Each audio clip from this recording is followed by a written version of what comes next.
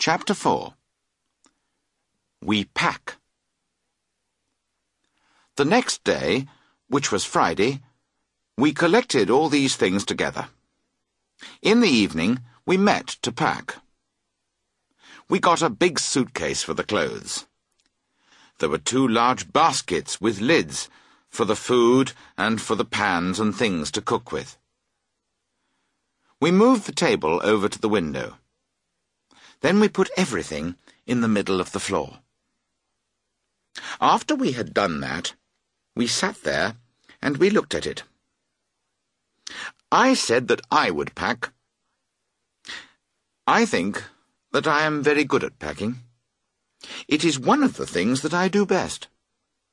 So I told the others that I would organize it. They agreed to this idea too quickly. That was rather strange. George lit his pipe and sat back in the armchair. Harris put his feet on the table and lit a cigarette. This was not, of course, what I had expected.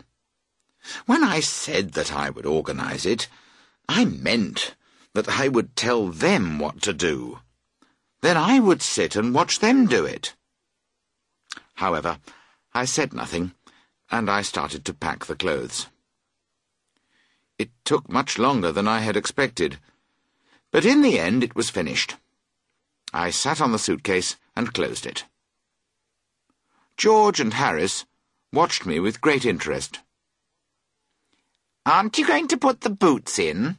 Harris asked. I looked round and saw the boots. Why did Harris wait until I had closed the suitcase? George laughed quietly. I opened the suitcase, and I put the boots in. It was not easy. And just as I was going to close the suitcase again, an awful idea came to me. Had I packed my toothbrush? Of course, I had to look for it, and of course I could not find it. I had to take everything out again.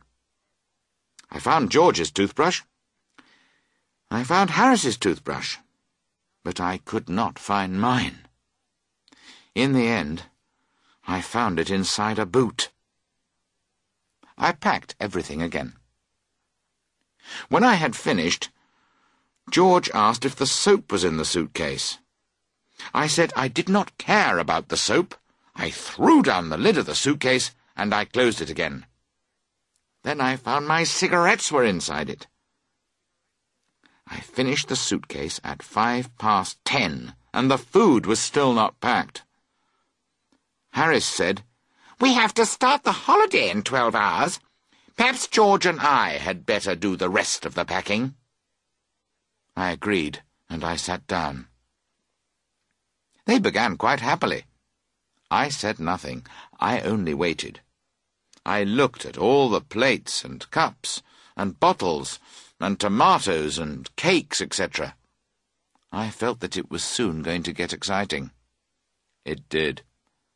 They started by breaking a cup. That was just to show you what they could do and to get you interested. Then Harris packed a pan on top of a tomato, and, well, they had to pick out the tomato with a teaspoon. And then it was George's turn, and he stepped on the butter.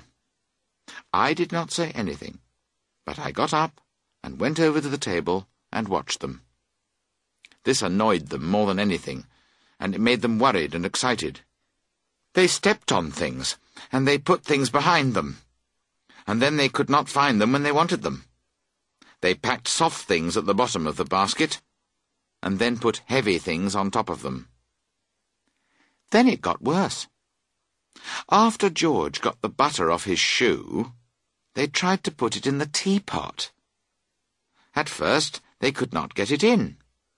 Then, when they did get it in, they decided that the teapot was the wrong place.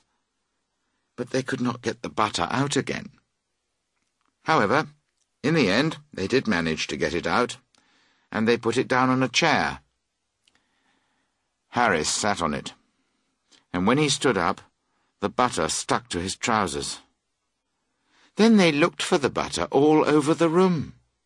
In the end, George got behind Harris and he saw it. There it is, he cried. Where? Harris asked, and he turned round quickly. Stand still, George shouted. When they got the butter off Harris, they packed it in the teapot again. Montmorency was in all this, of course. He sat down on things just when George and Harris were going to pack them. He put his leg into the sugar. He ran away with the teaspoons. He pretended that the oranges were rats, and he got into the food basket and killed three of them. The packing was completed at ten to one in the morning, and we all went to bed. George said, What time shall I wake you to? Harris said, Seven. I said six. In the end, we said, Wake us at half past six, George.